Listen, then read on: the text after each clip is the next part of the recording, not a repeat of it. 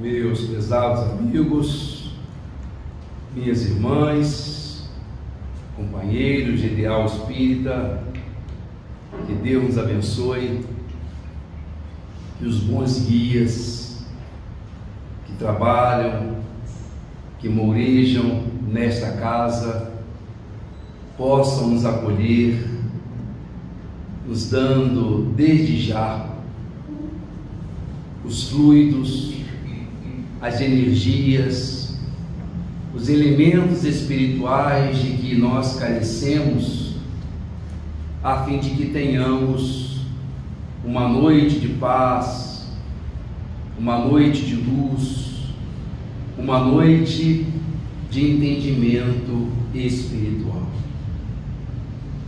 Recordamos aquele episódio mais ou menos conhecido de todos nós, quando Moisés sobe o Monte Sinai para receber os Dez Mandamentos. Segundo a narrativa bíblica, se deu ali aqueles, aquilo que os estudiosos da religião chamam de epifania, que é quando o divino, o sagrado, se manifesta em alguma coisa material, física, mundana.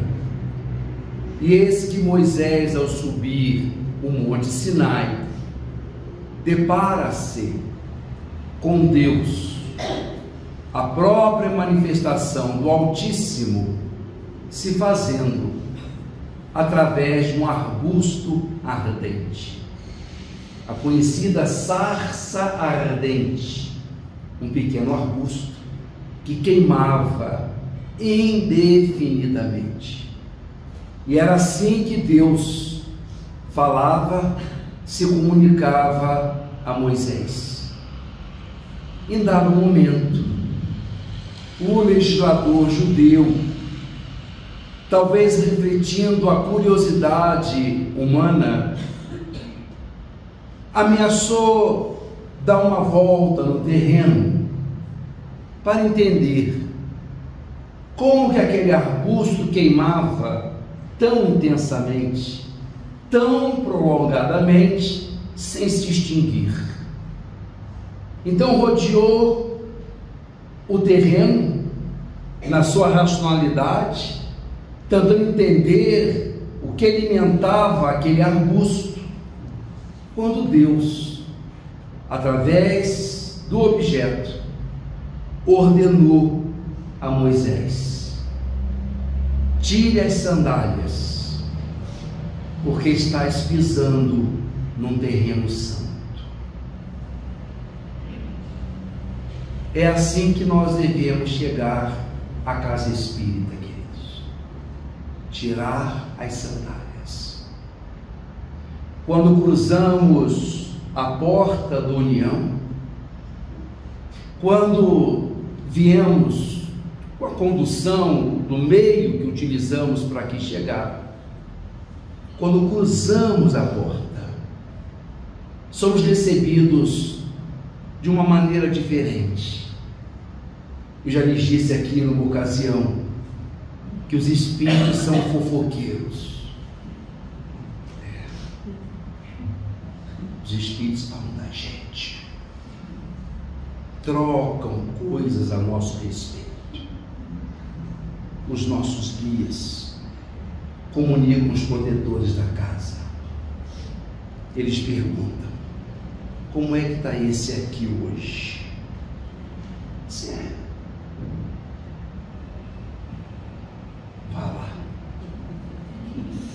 Como é que está vindo essa na noite de hoje?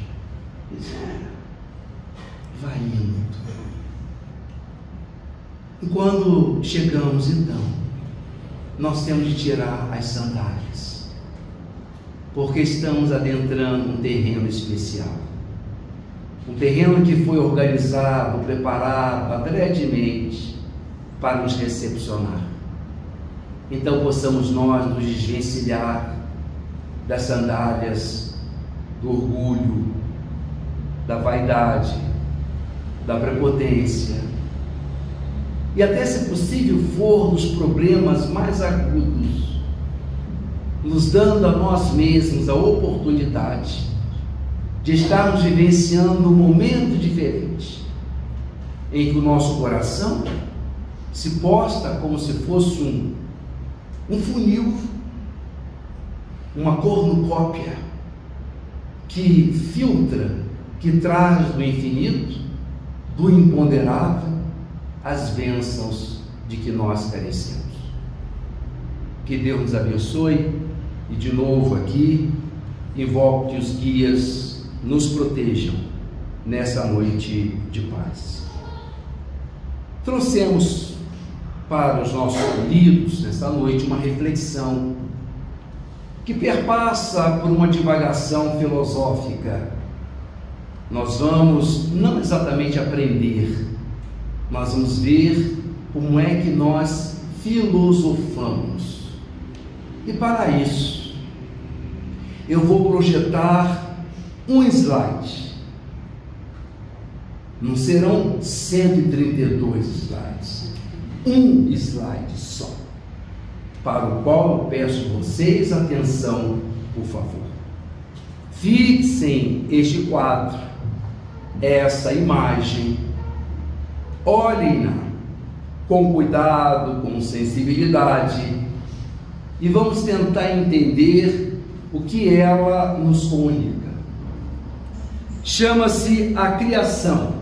Vocês estão vendo mesmo eu aqui de, de frente? A criação é o quadro pintado por Michelangelo Bonarotti, ao que dizem no ano de 1511 e que ostenta o teto da Capela Sistina no Vaticano, em Roma. Se vocês olharem bem, nós temos uma figura à direita, à minha esquerda aqui, e uma figura à direita. Nós temos um quadro em que os dois indicadores se aproximam, mas não se tocam. Há a personificação de um ser, se é que a gente pode chamar assim, à esquerda, e um outro à direita. Esse quadro chama-se A Criação. E ele reproduz a tradição histórica religiosa da nossa sociedade judaico-cristã, segundo a qual Deus, em dado instante, criou o homem, decidiu criar a todos nós. Então, Michelangelo, na sua genialidade, pinta esse quadro como a reproduzir esse momento mágico a criação em que nós entendemos e durante longo tempo, milênios, nós entendemos que era que se trata da criação do homem por Deus. Então esse quadro ele é visto da direita, da direita para a esquerda. É Deus decidindo criar o homem. É isso que o quadro, em princípio, retrata. Alguém tem dúvida? Alguém poderia imaginar que esse quadro, ao invés de ser visto da direita para a esquerda, fosse visto da esquerda para a direita? Será que mesmo foi Deus quem criou o homem? Ou se não foi o homem quem criou Deus? Por mais que isso pareça estranho a muitos de nós, nos últimos 200 anos, um número cada vez maior de pessoas olham o quadro de Michelangelo como sendo o homem criando Deus. Porque nunca ninguém viu Deus. Não se provou a existência de Deus. Lá se Deus realmente existe.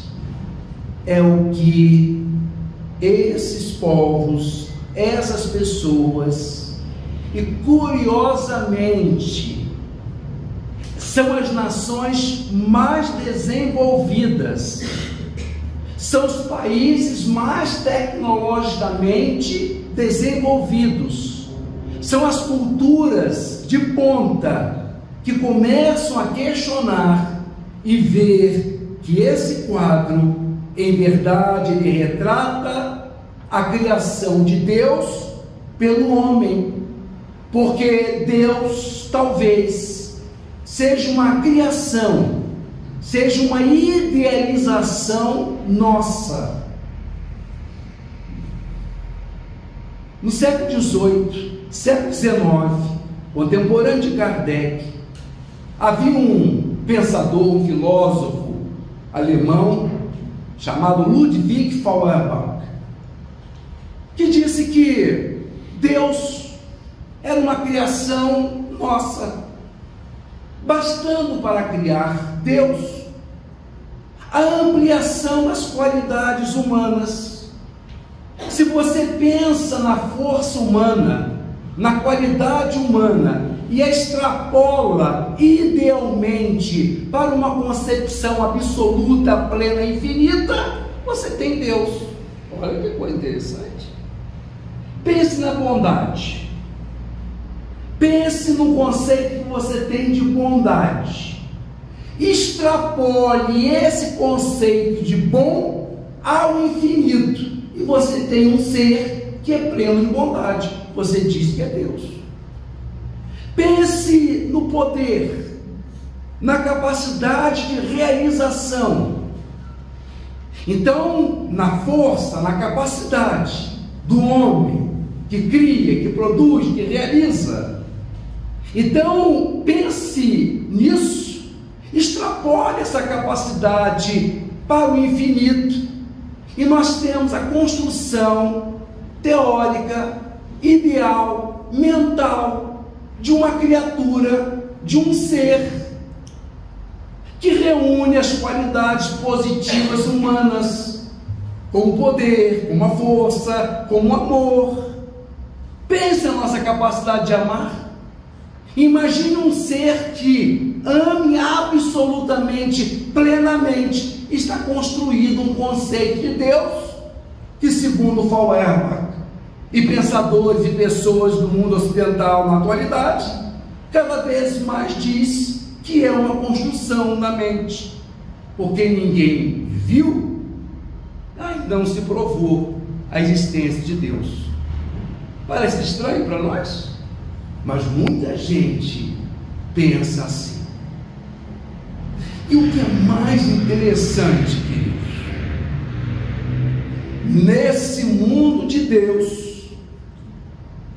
nesse nosso mundo, eu às vezes tenho a impressão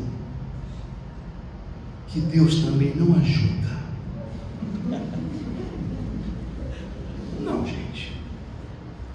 acontece cada coisa. Acontece cada episódio na vida de algumas pessoas que a gente pensa, mas será? Será que tem alguém tomando conta disso? Será que pode acontecer um absurdo desse? Uma situação dessa? E imaginar que você tem controle de que alguém está coordenando tudo isso, surge a dúvida da existência de Deus. E a dúvida nesse aspecto é positiva, ela é saudável. Porque tem horas que Deus manda cada coisa que até ele duvida. Às vezes, a vida da pessoa vai fluindo de um jeito, vai tudo se encaminhando relativamente bem. Comparativamente às outras pessoas, a pessoa se sente uma privilegiada, com toda sorte, as coisas fluindo, os planos se realizando, os projetos sendo alcançados. E de uma hora para outra, acontece um fato, acontece um troço, um negócio, e que muda tudo.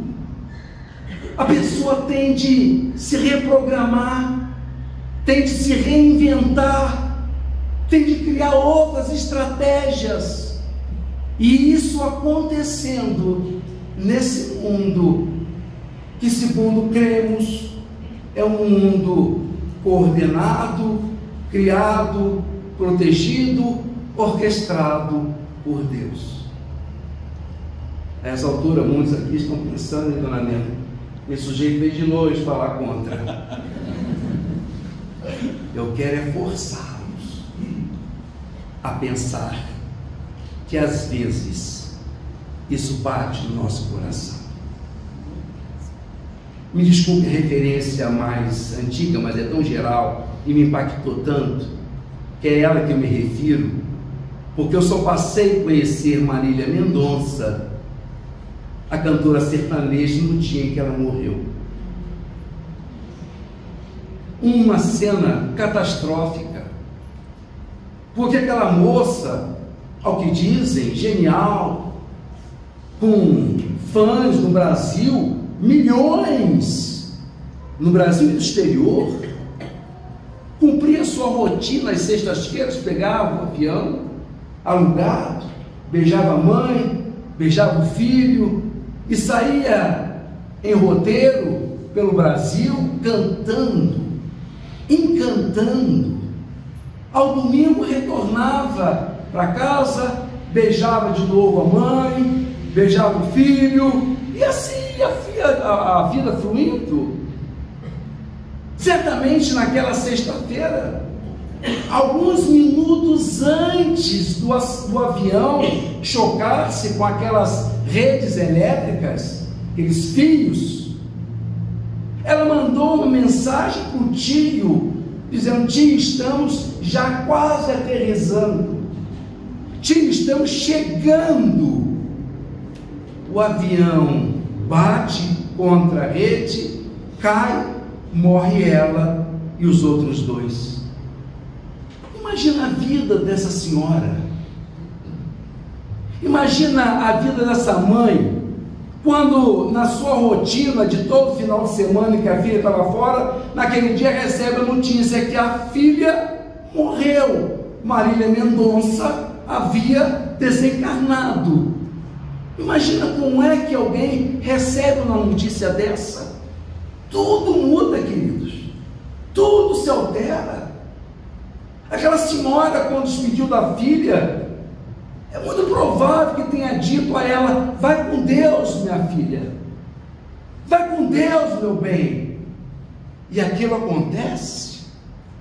Agora, num episódio de meu conhecimento particular, uma moça, filha de um casal espírita de Niterói, cidade que resido, 27 anos uma menina incomensuravelmente linda, linda, bondosa, carinhosa, próxima da mãe. Havia de pouco conseguido finalmente a colocação no trabalho que ela tanto quis, tanto desejou, chegou, alcançou aquele posto apartamento comprado, casamento marcado. 27 anos. Chegou em casa, fez o lanche, dormiu 10 minutos. Quer dizer, eu vou dormir 10 minutos. Dormi 10 minutos. Pegou a bicicleta e foi para a academia. E um ônibus atropelou essa garota, que por 11 dias ficou na, CTI entre a vida e a morte, com o corpo quase todo descarnado, morrendo a cada dia e partiu. Eu visito a mãe dela, o pai, de vez em quando, e vejo que essas vidas não se reconstruíram. Então a fica assim, mas como é que isso acontece? Como é que isso se dá? Como é que nós mantemos a fé em Deus diante dessas coisas que acontecem na vida nossa, na vida de muitos de nós? Aí que nós temos uma parente que vai pegar o ônibus numa rodoviária, a determinada hora do dia, mas enfrenta um engarrafamento, perde um ônibus. O ônibus que ela ia pegar não consegue. Nos avisa, a gente fica angustiado, fica temeroso, lamentando por não ter ela conseguido viajar no ônibus no horário que ela previu, que ela quis. Ficamos até um pouco chateados, tristes, até que vamos a saber, viemos a saber, que o ônibus dela, naquele horário, chocou-se com uma carreta e todos que estavam no ônibus morreu. E ela, como pegou um horário depois, salvou-se. Nós quedamos de joelhos e agradecemos a vida maior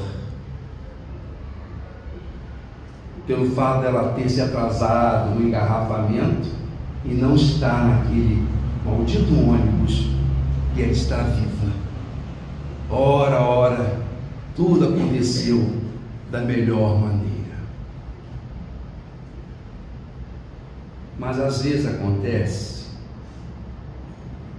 que pelo engarrafamento a moça não pega o ônibus que estava marcado no horário dela. Ela pega o ônibus posterior. E aquele que era do horário dela chega intacto ao destino. E é exatamente o que ela pegou depois é que bate. E aí? Como é que a gente resolve isso com Deus? O que aconteceu? Quem ficou invigilante, quem não prestou atenção, quem não cuidou para que aquilo não acontecesse? O que queremos dizer, queridos? É que quem crê em Deus, ainda que queiram argumentar que ele não existe. Nós não deixamos de crer. Mas quem não crê em Deus, não há também argumento lógico que possa fazer a pessoa crer em Deus. Porque crer em Deus é diferente de acreditar em Deus. Acreditar em Deus é um conceito. Deus é uma possibilidade, é até uma ideia interessante.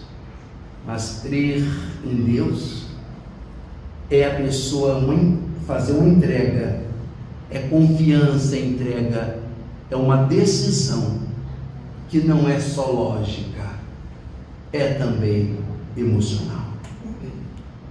Não há argumentação filosófica que consiga fazer alguém que não crê em Deus fazer com que ela creia porque ela vai apontar mil disformidades, não conformidades, para mostrar que esse mundo está malocra.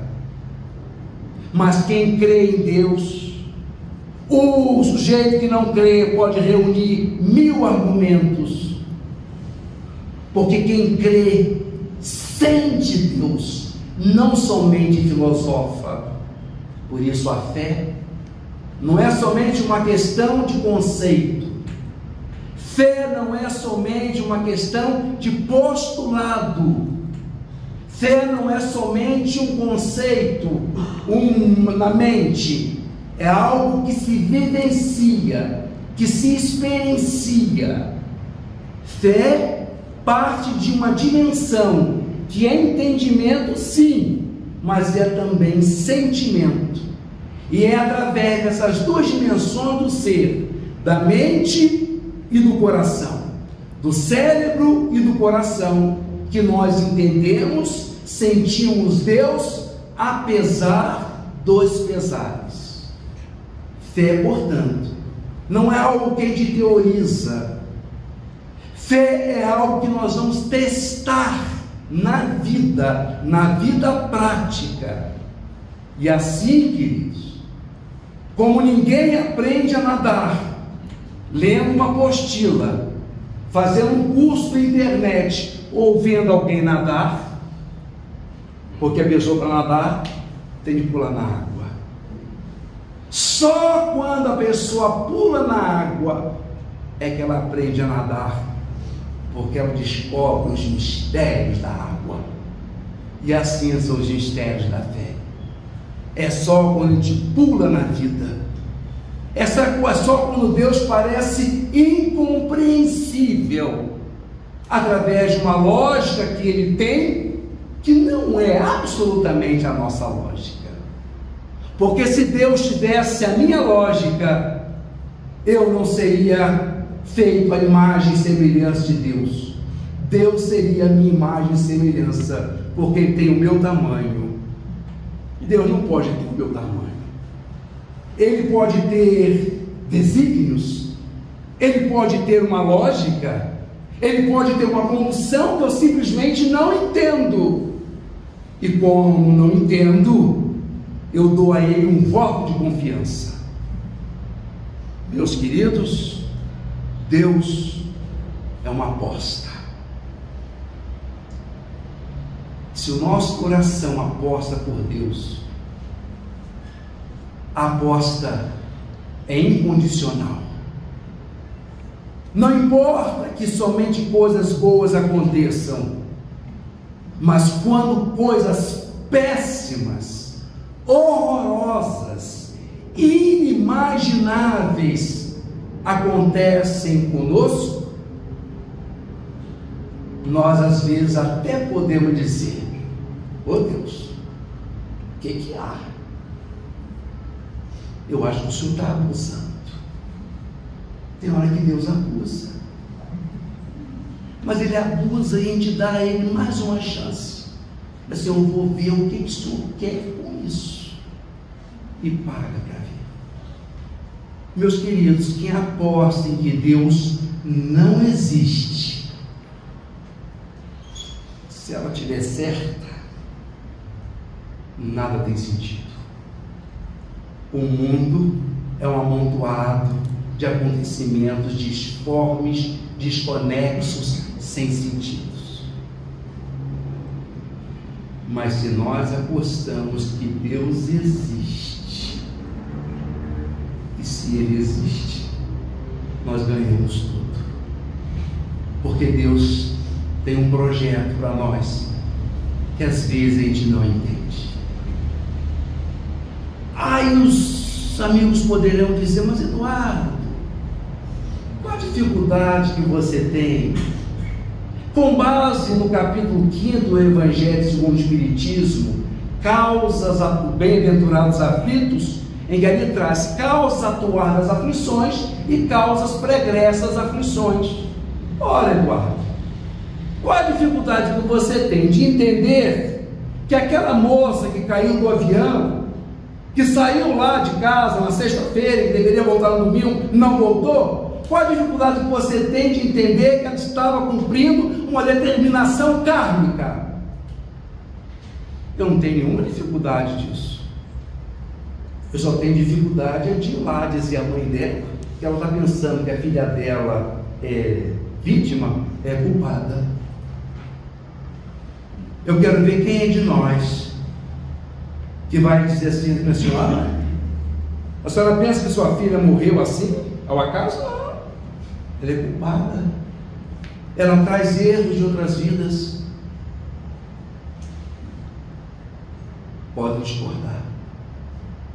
Mas às vezes parece que isso é pior do que deixar na base do acaso. Dizer para uma mãe que perdeu uma filha nessa condição, que ela estava simplesmente cumprindo a justiça, nós temos de somar a justiça ao amor. Porque a reencarnação não é só justiça, nós não estamos tão interessados no porquê, nós estamos em busca do para quê. Porque nós temos de encontrar sentido nas coisas que acontecem. E a reencarnação, além de ser justiça, ela é uma prova do amor de Deus, do projeto de Deus para nós. Sim, as coisas acontecem e as pessoas resgatam suas faltas, é assim. Mas não é só isso, porque no meio disso tudo existe a misericórdia, o amor de Deus. O universo não é a lei do karma, o universo não é matemática. Se a gente pensar na reencarnação somente em termos de causa e efeito, de ação e reação, nós vamos lembrar da lei de Newton, que dizia que toda ação corresponde a uma reação com a mesma intensidade, na mesma direção, só que em sentido contrário. Extrapole isso para o universo e vão dizer: ora, o karma nada mais é do que a gente faz uma coisa e aquilo volta para nós, mas não há necessidade de Deus, é uma lei. Mas o universo não é só justiça, o universo é amor. Porque o sujeito que vai ao médico e é diagnosticado de um câncer pulmonar, e o médico associa a todos aqueles anos em que ele fumou, daí o câncer. Sim, doutor, eu entendi por que teve câncer. Mas o que eu faço com pavor, com medo, com insegurança? com medo da morte. É nesse instante que a criatura que sente Deus em suas vidas, a pessoa diz então: tá bom, Senhor, tá bom, tá certo, as coisas são assim, fazer o quê? Mas já que o Senhor não pode mudar, me dá forças para resistir. Então a fé é tão extraordinária quando a provação não pode ser tirada, Deus nos manda força, resistência para resistir.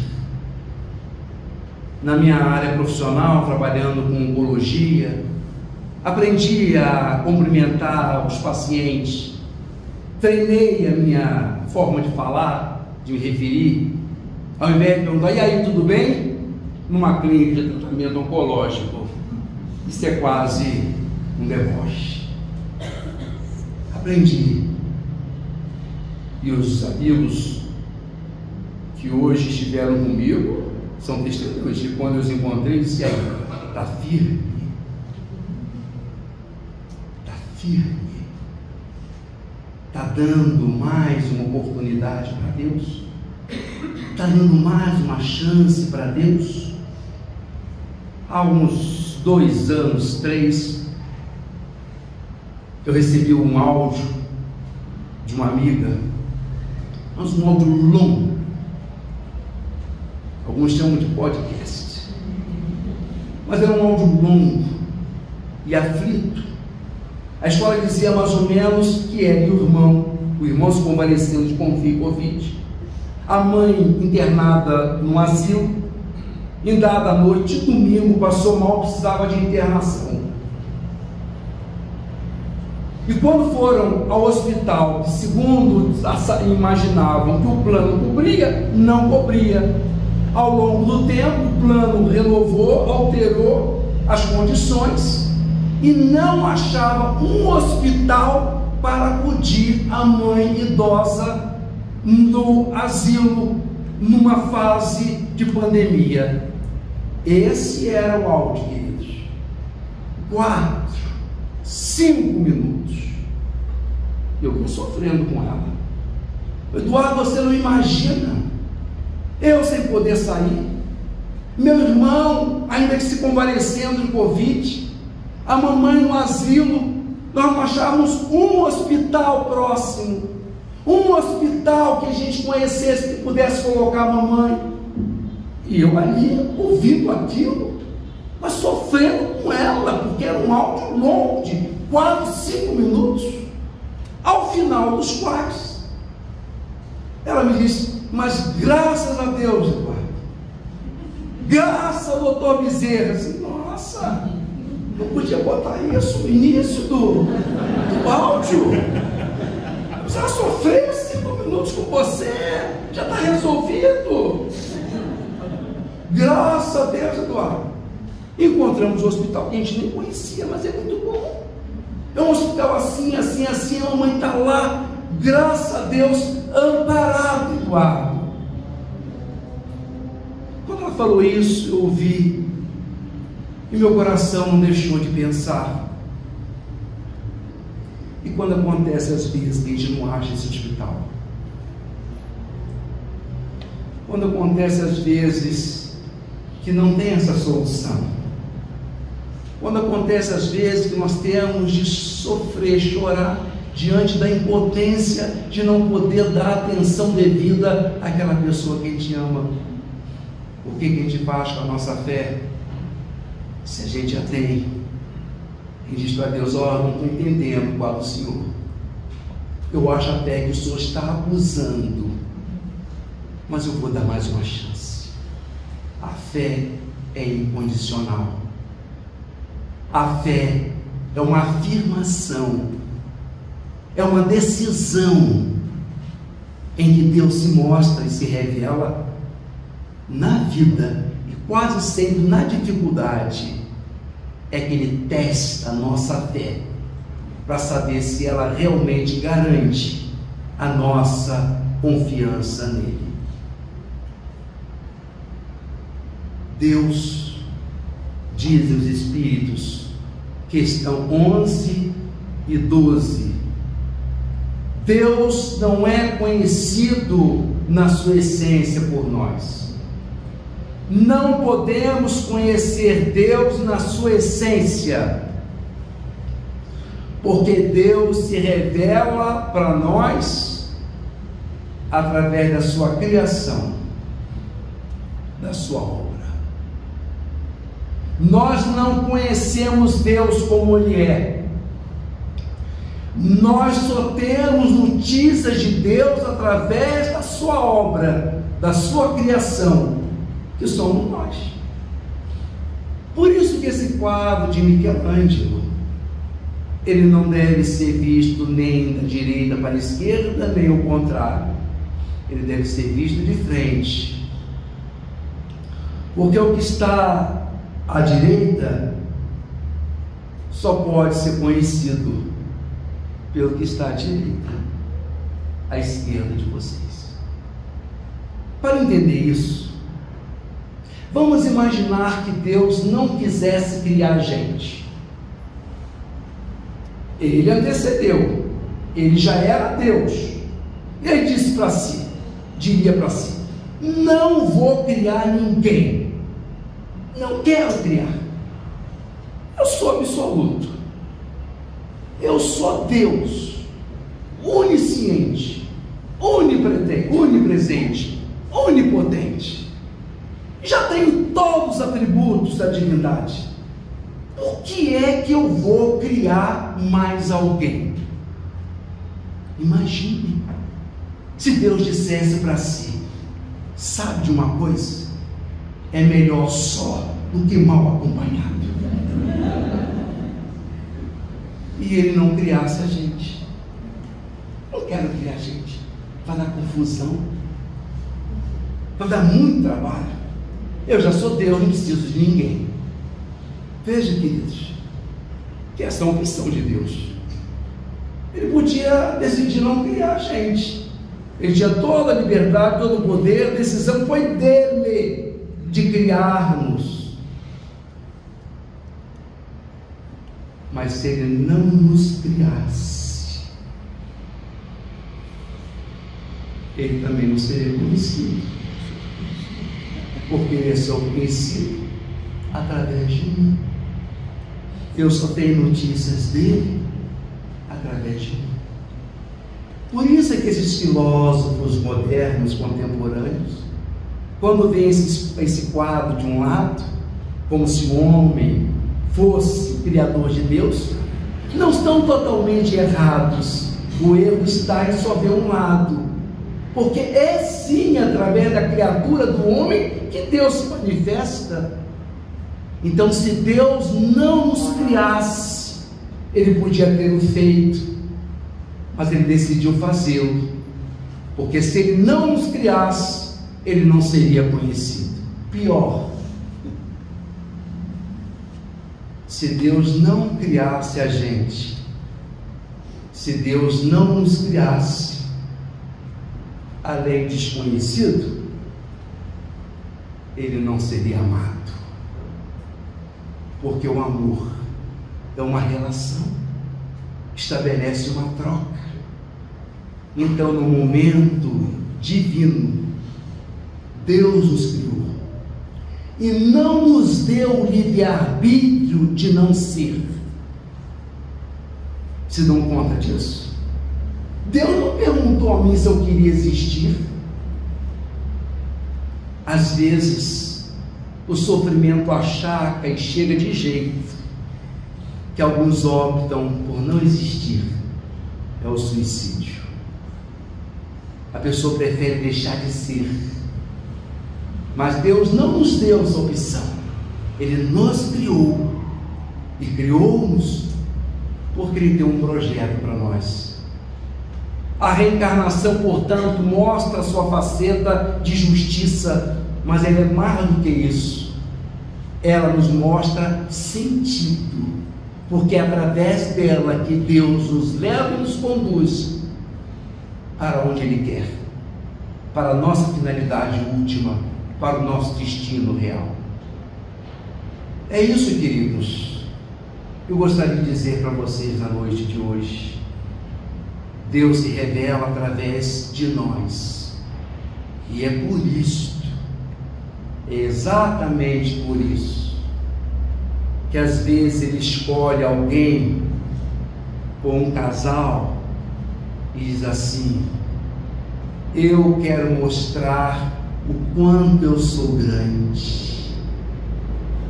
E é através da grandeza de alguém que Deus mostra sua força. É diante de uma provação atroz, diante de um sofrimento medonho, de uma coisa inimaginável, em que a pessoa afirma Deus, é através dessa postura de força que Deus mostra a nós o quanto Ele é grande. Deus se revela através de mim. Ele escolhe às vezes um de nós para dizer: mostre, eu quero mostrar a minha grandeza, a minha força, e é através da grandeza, da força de uma pessoa que Deus se revela. Deus às vezes decide e diz a alguém, a uma mãe, por exemplo, eu quero mostrar o meu amor, o quanto eu sei e posso amar essa criatura tem uma história de desventura infinita com o filho perdido. O filho que não tem jeito, ingrato, o filho que só faz bobagem, destroça a vida daquela criatura, desfaz todos os planos de alegria daquela mulher e ela continua ainda assim amando aquela criatura difícil. E é assim que Deus mostra o seu infinito amor através da nossa capacidade de amar. Então, em verdade, esse quadro ele deve ser visto de frente, nem da direita para a esquerda, nem da esquerda para a direita. A vida, o universo é composto da criatura e do Criador do Pai e dos filhos. A fé, portanto, é uma afirmação, é uma decisão, não é fruto somente da lógica, do entendimento, da compreensão. Ela envolve emoção, ela envolve uma decisão do coração. Já falamos de Moisés. Segundo a Bíblia também, quando ele tira do Egito, os judeus, e sai com o povo liberto pelo deserto, Dizem as Escrituras que o Faraó se arrependeu e mandou o exército atrás de Moisés com os judeus libertos. Vagando pelo deserto, em dado instante, Moisés se deparou com o mar vermelho, lembram disso? Atrás vinha o exército egito, egípcio. À frente, o mar, que tragaria todos os homens e mataria todos também da mesma maneira. E você sabe o que aconteceu? Sabe o que aconteceu? O mar se abriu. O mar abriu em duas colunas, como se fosse uma muralha separando as águas, e o povo passou por ali. Depois deixou tudo de novo para que o exército egípcio não cruzasse também. É essa a narrativa bíblica. Mas há uma lenda muito interessante que diz que sim, Moisés cravou o cajado na água, mas ela só se abriu quando o primeiro homem pulou na água. É assim que a fé se mostra. A gente pula na vida, descobre os mistérios da fé e afirma a Deus exatamente nos momentos em que parece e teremos todos os motivos para não afirmar. Concluindo aqui a nossa exposição, queridos, vocês certamente estão pensando que eu não paro mais, mas eu vou daqui a pouco embora. Vocês hoje estão com, com sorte, eu comprei um ônibus um pouco mais cedo. Então, ao invés de 10, 11 e meia, dona Nina, eu vou falar só até explicar. O Rabino Akiba achou que deveria tomar parte daquela revolução para libertar Jerusalém do domínio romano. Ali pelo início da primeira, do segundo século da era cristã, a chamada Batalha, a Revolta de Bar Kokhba. Os judeus se organizaram uma revolta para expulsar os romanos de Jerusalém, mas perderam. O poder de Roma impôs respeito e os judeus tiveram de se recolher avergonhados pela potência, pela força do Império Romano. E Roma, para instruir e avisar aquele povo acostumado a revoltas, para que não ousassem a fazer de novo, escolheu exatamente as pessoas mais significativas, os grandes homens que haviam inspirado o povo durante muito tempo, e assim escolheu o Rabino Akiba para que ele desse e mostrasse aos judeus o que lhes adviria se fizesse organizasse uma outra revolta. Os romanos eram artífices, eram experts em criar instrumentos de tortura. E criaram então aquilo que a história passou a conhecer como pente de aço.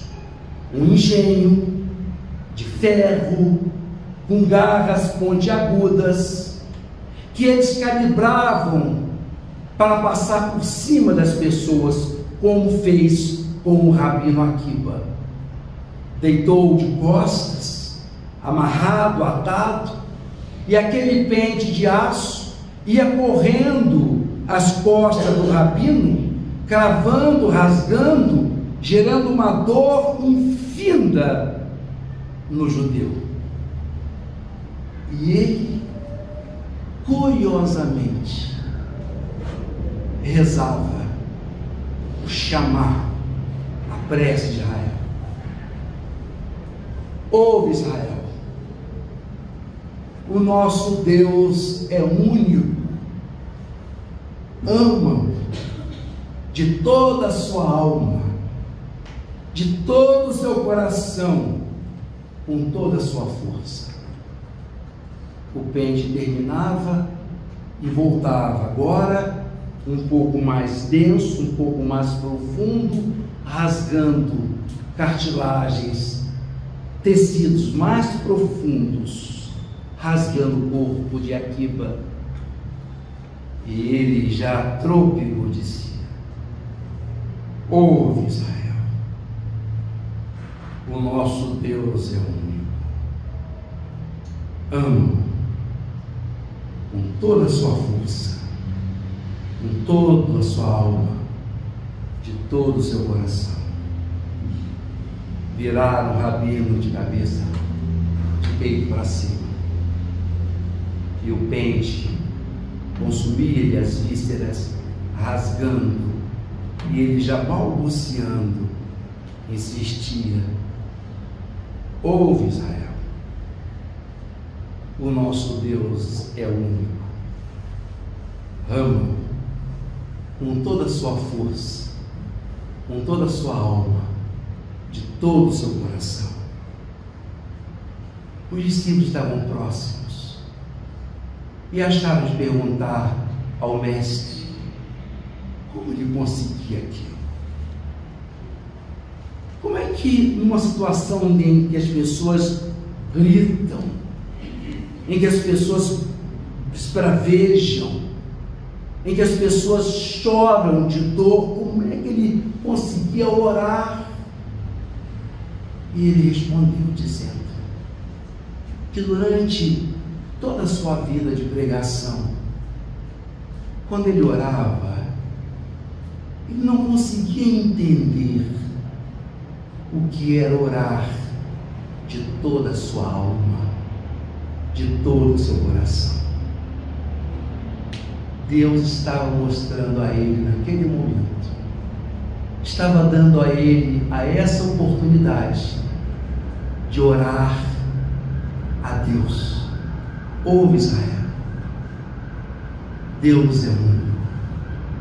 Ama-o com toda a sua força, com todo o seu coração, de toda a sua alma. Então ele agora estava entendendo o que é rezar de verdade, o que é orar de fato. Meus irmãos, minhas irmãs, pode não acontecer, mas pode acontecer que vocês sejam convidados, mais cedo ou mais tarde, a rezar de verdade e não vacilem. Orem e reafirmem. Ouve Israel. Ama a Deus. Ele é único. Com toda a sua força, com todo o seu coração, com toda a sua alma. Pode ser que esse momento chegue, pode ser que não, mas haverão instantes em que teremos de orar de verdade. Que Deus abençoe. mestre amado, certa vez ouvimos o nosso querido Chico responder a uma pessoa que a fé é uma conquista, mestre. E nós estamos há milênios como guerreiros buscando essa fé, Senhor. Essa fé que nos liga diretamente à criação. E agora nos caminhos da doutrina espírita, nós buscamos com uma fé raciocinada. E a estes bons espíritos é que nós pedimos que nos possam caminhar como heróis desta conquista, para que consigamos ter uma fé equilibrada nos momentos difíceis, que sejamos realmente humildes de reconhecermos que a vivência de uma só existência não será suficiente para vencer essa grande batalha. Se conosco, Mestre, dai-nos força para que sejamos os heróis de hoje, nos momentos difíceis, não os heróis do antanho, buscando glórias efêmeras. Se conosco, Mestre, queremos a glória de conhecer a criação e o Criador. Se conosco.